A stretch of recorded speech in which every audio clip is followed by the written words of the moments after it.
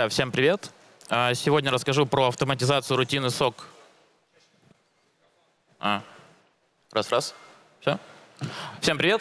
Сегодня расскажу про автоматизацию рутины SOC на open source и поделюсь нашим опытом внедрения. А, Соответственно, контент-мейкеры. Меня зовут Михальченков Александр, и я аналитик SOC в компании Wildberries. За техническую реализацию выступала Остапчук Лиана, инженер SOC.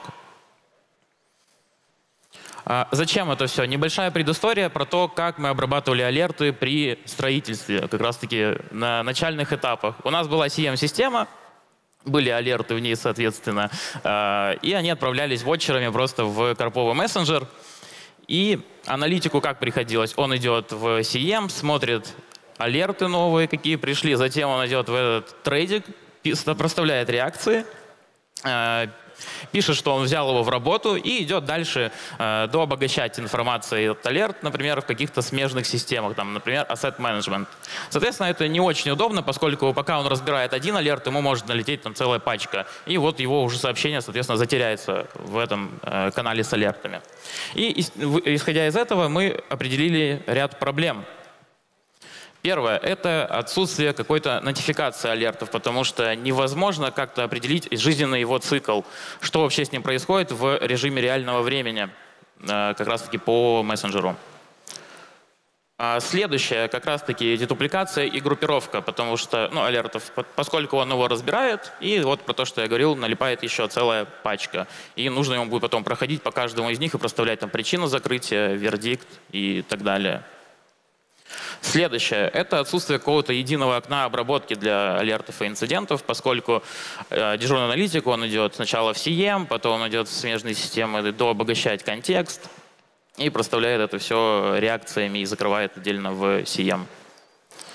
Следующее. Неоднородная структура алертов. Что подразумевается под этой формулировкой? Это то, что в качестве источника информации в CM у нас может быть абсолютно разные приложения. Это могут быть логи аудита, VPN, access-логи и так далее. И не очень удобно, что везде может быть разный набор полей, и, например, такие из какого-то источника может не приходить еще эта часть. Далее, подсчет метрик, как я говорил, основным инструментом для обработки алертов служил CM и просто канал с этими алертами, где аналитика проставляла свои реакции. И что-то собрать там, это просто невозможно. Это все подсчитывать и какую-то статистику вообще вести. И у нас часть была просто закрыта на CM, но там не было как раз-таки метрик по обработке как раз-таки. Следующее. Отсутствие прозрачности процесса разборта алертов и инцидентов. Что под этим подразумевается? Это то, что заинтересованные люди в разборе не всегда могли понять, что сейчас происходит с алертом. Взяли его в работу, не взяли. Какой промежуточный статус, вердикты, причины закрытия, какой-то контекст по нему получать, потому что они просто видели, что есть алерт в канале, и непонятно, разбирается он или нет. Там просто наименование детектирующего правила. Далее, отсутствие какой-либо вообще оркестрации IT-инструментами, то есть для того, чтобы заблокировать там банально учетку, нужно было идти там, к администраторам, либо а, отдельно в систему и уже там производить все манипуляции, связанные с этим. Встал вопрос, как же мы будем все-таки это решать? Потому что проблем накопилось много, времени затрачивается тоже много, и как-то нужно это разруливать и оптимизировать наши процессы по разбору этого всего. Наиболее очевидными вариантами для решения данных проблем нам показалась это система класса SOAR и IRP. Далее поподробнее о каждой из них и о том, что же мы все-таки выбрали для э, решения этих проблем. Сейчас небольшой интерактив. Поднимите руки, кто пользуется э, вендорскими SOAR-решениями. Круто, круто. А кто open source? О, здорово, у нас мнения разделились, скажем так. Это правда круто. А, Соответственно, в нашем случае мы выбрали SOAR Shuffle, рассматривали и другие решения, э, в частности, мы рассматривали N8N, но по некоторым факторам мы его отмели, такие как, например, отсутствие ролевой модели, и в основном, там, чтобы что-то пилить, нужно знать JS а также отсутствие нативного использования баш-скриптов. Рассматривали Hive с его кортексом, но как-то решили остановиться именно на шафле. А, Немного поподробнее, что такое SOAR. А, В целом система отвечает за управление безопасностью, автоматизацией и реагированием. Э, ключевые особенности — это то, что позволяет собирать и обрабатывать данные, и выстраивать как раз-таки ту самую автоматизацию э, сценария обработки, что очень важно в работе аналитика, ну и в целом даже смежных каких-то подразделений, поскольку это ускоряет процессы. Также по, отсканировав QR-код вы можете перейти на сайт разработчика и ознакомиться более подробнее с данным решением. Э, рассмотрим сущности, из которых состоит шаффл. Э, это рабочие процессы, тенанты, окружение, встроенное хранилище и контроль доступа. Сейчас рассмотрим подробнее каждый из этих э, сущностей и компонентов. Соответственно, на слайде вы можете видеть такую монструозную схему рабочего процесса, или, если говорить терминологией шафла, workflow. А, и попробую рассказать, из чего же она состоит. По факту это и есть тот самый сценарий автоматизации и обработки, который вызывает различные роды системы на основании каких-то условий, например, и как-то манипулирует с данными, которые приходят на вход. А, изначально компоненты рабочего процесса, то есть непосредственно триггеры, что запускает обработку э, workflow, из-за чего оно стартует. Первый триггер — это у нас Э, на слайде демонстрация как это происходит? Мы просто курлом стучимся в веб-хук, и у нас запускается рабочий процесс. По идее, все очень просто. Из use cases, например, э, у вас есть система, у которой рекомендуемая схема — это то, что не вы будете ходить по какому-то расписанию в нее, а, допустим, она хочет пулять в вас данные. И как раз-таки на основе этого мы можем использовать данный вид триггера, webhook, для запуска сценария. А, следующее – это запуск по расписанию как раз-таки, то есть когда мы говорим, чтобы наш рабочий процесс, workflow, а, запускался с какой-то периодичностью. Вот на слайде как раз представлено, что по расписанию мы ходим а, в CM и забираем алерты. Следующий триггер — это у нас вызов других workflow. По факту одним э, рабочим процессом мы можем вызывать другие. Зачем это вообще нужно? Э, чтобы не, у нас не было таких монструозных схем, и как-то можно было это, производить отладку э, рабочего процесса, мы можем использовать subflow. И это будет более удобно и как-то контролируемо и централизованно, когда есть какой-то мастер workflow, и из него уже порождаются его какие-то атомарные э, рабочие процессы в виде э, вспомогательных, скажем так. Следующий и финальный вид триггера в шафле — это у нас пользовательский ввод, то есть тот вид триггера, который будет ожидать взаимодействия пользователя, то есть его какого-то интерактива для того, чтобы э, начать работу. Следующий компонент, с которых строится э, workflow, это приложение. Ну, либо, можно сказать, коннекторы, интеграция с сторонними системами, как угодно. А, соответственно, на слайде представлен интерфейс того, как это выглядит, э, в более детализированный вид. Shuffle из коробки поставляет более 100 уже приложений, настроенных и протестированных, но также вы можете сделать и свое. Далее чуть поподробнее про то, какие виды приложений есть в Shuffle.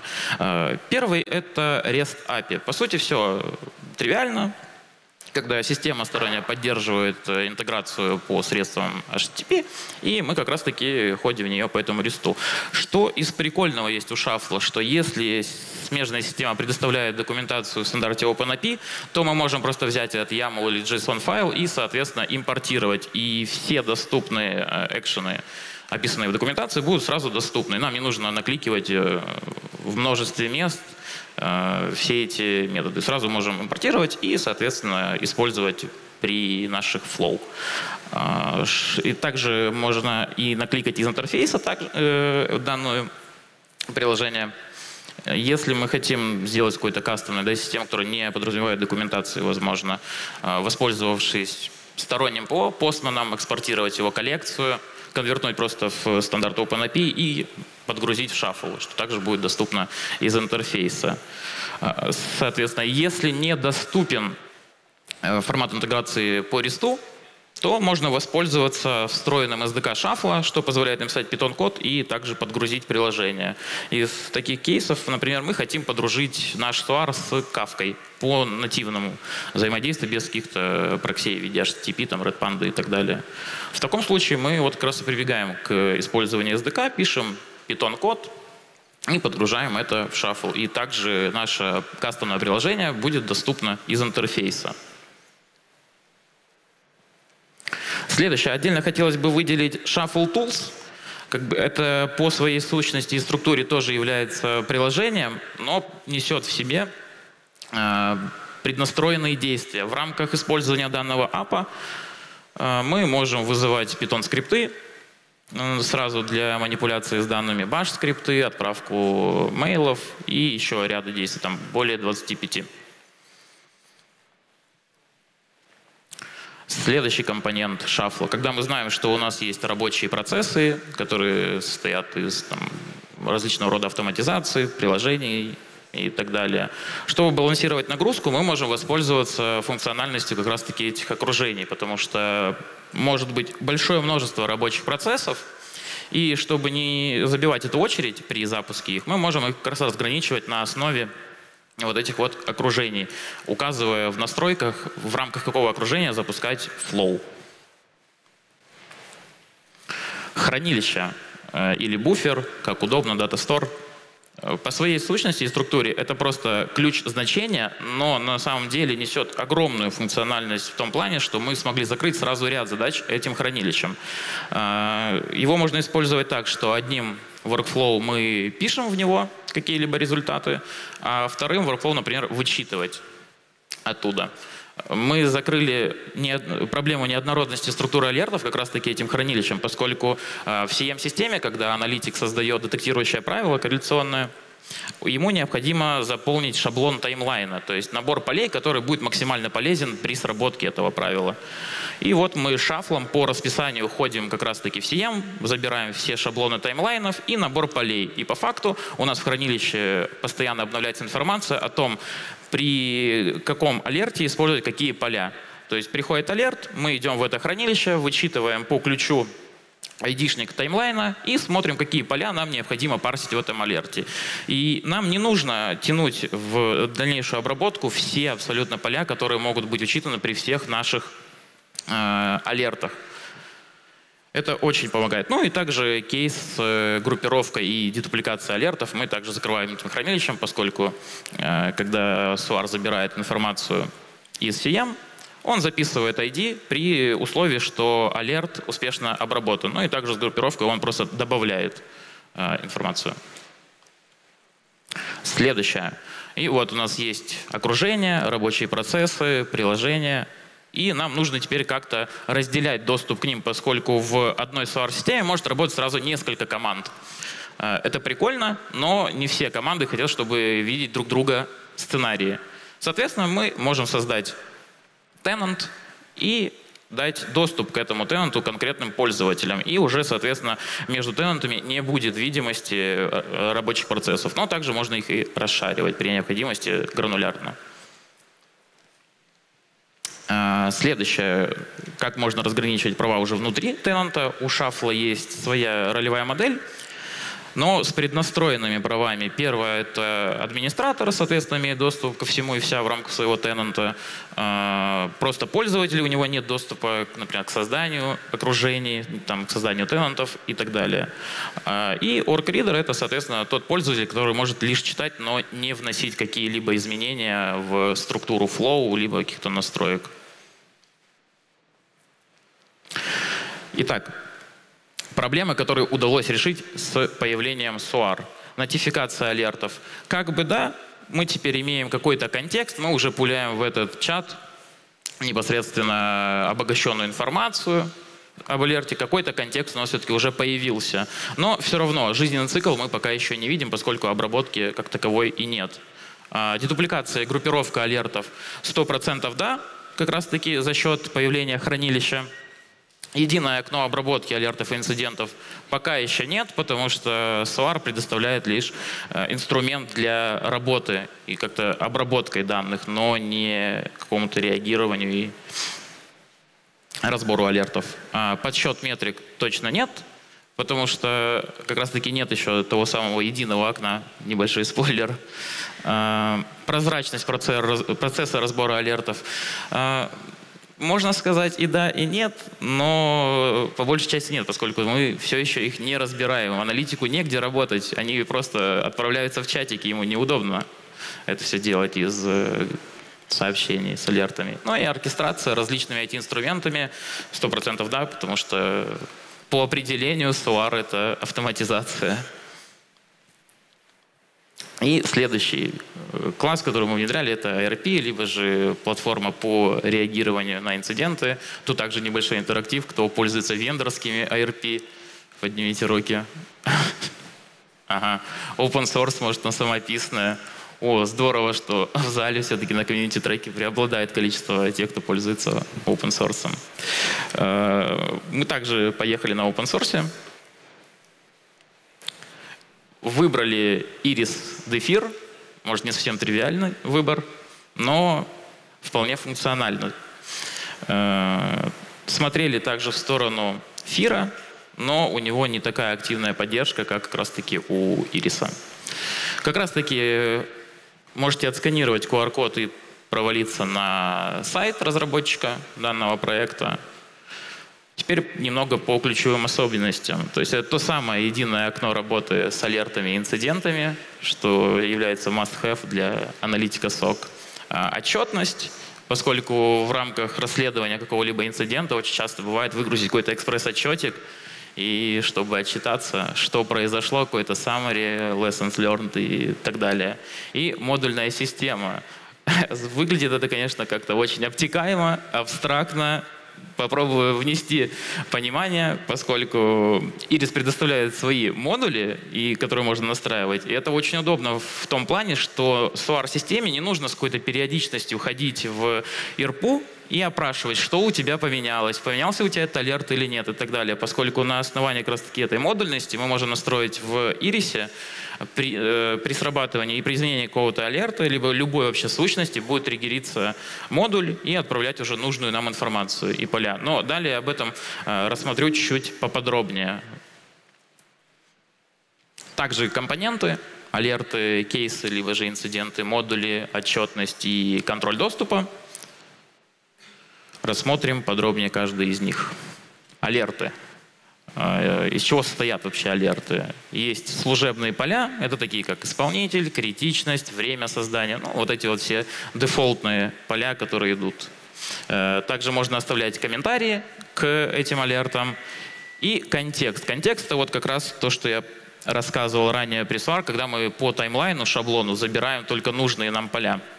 И таким образом это выглядит, что мы получаем в в контексте только те поля, которые нам необходимы. Мы не тащим абсолютно всю портянку со всеми возможными полями, потому что это банально визуальный шум, который будет только отвлекать при работе с алертами. Важно отметить, что разработчики Ириса в своей методологии разделяют понятие алертов и кейсов не только тем, что это разные карточки, да, но и структура абсолютно разная. Но бывает так, что при разборе алертов мы понимаем, да, это инцидент, и нам нужно, ну да, что это инцидент, и нужно его заводить. Соответственно, в таком случае мы берем, просто выделяем нужные нам алерты, нажимаем кнопку «Смерджить», заполняем дополнительную а, информацию, которая необходима при создании кейса, и, соответственно, у алертов появляются гиперссылки на кейс, в рамках которого они, который они и породили. И в дальнейшем можно уже это все обрабатывать. Про кейсы. Э, соответственно, на слайде представлено то, из чего они состоят. Но чуть позже мы рассмотрим с вами э, более подробно каждый из этих вкладок и что на ней можно делать. Та самая модульная система, модуль ириса, это то, как раз-таки из-за чего, из-за чего и происходит расширение той самой функциональности. Про то, что я говорил, когда отправляется только нужная измененная нам информация, не тянется абсолютно все. Э, существует у Iris два вида модулей. Первый — это pipeline, пепелина, так называемая. Это когда Iris, Iris предоставляет как раз-таки один, один такой готовый модуль из коробки, всего их, по-моему, 5. И вот один как раз вида pipeline, это когда мы можем EVTX грузить в Splunk. Ну, не знаю, почему они его выбрали, но вот один он у них имеется. Но он не так нам интересен. более интересно, это вид модуля процессор. Как он работает? Э, также в RP Iris есть э, триггеры собственные на изменение каждой сущности, то есть изменение, создание и удаление. И нашим вот этим модулем типа процессора мы подписываемся на эти триггеры. То есть если срабатывает триггер один, то запускается модуль и отправляет, например, по веб-хуку э, информацию которая изменилась. Например, поменялся алерт, он берет то, что поменялось в алерте, и отправляет как раз-таки в нашем случае в SWAR Shuffle. Про контроль доступа. Э, работает таким образом тоже на тенантах, только в терминологии Ириса это называется кастомер. Пользователю назначается его кастомер, алерту также назначается кастомер, и на основании этого скрывается, э, скрывается доступ к тем или иным, например, алертам и кейсам. Права э, назначаются на основании групп, есть 12 видов прав доступа, и уже эти группы как раз-таки мапятся на конкретных юзеров при этом разграничении. У одного пользователя может быть множество групп. При работе с кейсами, более того, это очень прикольно, что мы можем выдавать помимо, нас, ну, помимо кастомеров да, доступ к кейсам, мы также можем гранулярно конкретному пользователю дать те или иные права на э, чтение, например, или изменение инцидентов. Как это работает все вместе? Сердцем выступает как раз-таки SOAR, ну, рассмотрим на примере получения алертов из CM. Э, сердцем выступает SOAR, он по расписанию идет в CM-систему и забирает как раз-таки алерты. Далее несколько этапов. Первый — это дедупликация и группировка. Затем э, обработка. И последнее — это обогащение. То есть автоматически обогащается контекст алерта из каких-то смежных систем. Там, vulnerability management, asset management, без разницы. А, и потом в параллель отправляется сообщение в мессенджер, что новый алерт с э, всеми полями и так далее. И в параллель к нему создается алерт, либо обновляется в IRP. Вот оно, да, единое окно. Наконец-то мы уже близки к тому, чтобы решить наши проблемы. А, так, соответственно, аналитик отбивает краба э, э, алерту в вырисе, Отбивает краба. Отбил краба. Соответственно, меняется статус и проставляется исполнитель, тот, кто хлопнул по ладони. Параллельно с этим в мессенджере, в мессенджере на сообщение об алерте проставляется реакция – и отправляет сообщение в тред, что такой-то ответственный взял, инцидент, взял алерт в работу в такое-то время. А, в ходе расследования аналитик также может писать различные комментарии в IRP, и они автоматически по такому же механизму будут подтягиваться в этот тред. Он может тегать кого-то из смежников и так далее, кто есть в чате, например, да, с алертами, но его нет в IRP. Так сильно удобнее выстраивается процесс взаимодействия и обработки алертов. После того, когда аналитик разобрал алерт, он уже на финишной прямой, ему необходимо выставить причину закрытия или же resolution status и написать свой вердикт. Э, resolution статусы, вот тут нюанс, что не удастся вам добавить эти resolution статусы нативно через веб-интерфейс, это все перепиливается на уровне кода, но не то чтобы это прям очень критически. Соответственно, когда аналитик закрывает алерт, в трейдик также отпис, э, пишется сообщение о том, что алерт закрыт с такой-то э, информацией, и проставляется реакция.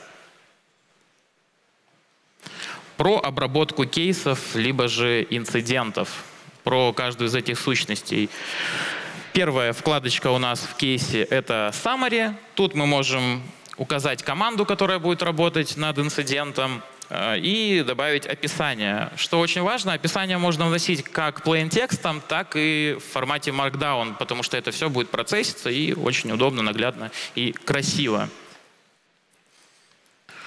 Следующее это у нас notes, либо же заметки. Тут, соответственно, команда может делать свои группы заметок и добавлять новые, какую-то структурированную информацию, что тоже очень удобно, чтобы это не было разбросано по миллиону там, Google доков и потом это все собирать.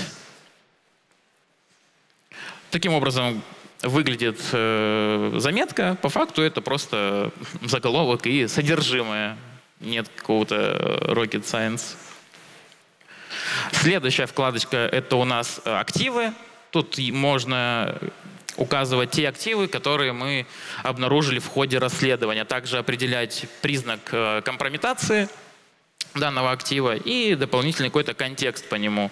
Может быть, даже обогатить, потому что в рамках э, кейсов мы можем руками, либо также по триггерам вызывать э, модули. Следующее — это индикаторы компрометации. Непосредственно то, что мы обнаружили, когда расследовали какой-либо инцидент. Так. Э, выглядит это просто как значение и описание, ну и тип. Можно еще также указать TLP светофор. Очень важно заполнять индикаторы компрометации, если таковые были обнаружены, так же, как и активы, поскольку в будущем на основании этого будет выстраиваться автоматический граф связи. Следующее — это таймлайн. Таймлайн — очень прикольная штука, и мне кажется, это одна из вещей как раз-таки, почему мы остановились на ERP, э, Iris, Дефир, поскольку тут можно абсолютно точно расписать ту хронологию событий, которая у нас была. А, более того, в рамках одного э, события в таймлайне мы можем создать дочерние его ивенты, которые также породились с него или как-то связаны. И это все очень наглядно. А, плюс, когда мы указываем индикаторы компрометации, как раз таки, как видно в первом событии, у нас наш индикатор компрометации автоматически а, подсвечивается и является гиперссылкой на него, то есть мы можем прямо из таймлайна провалиться и посмотреть, что это за айок.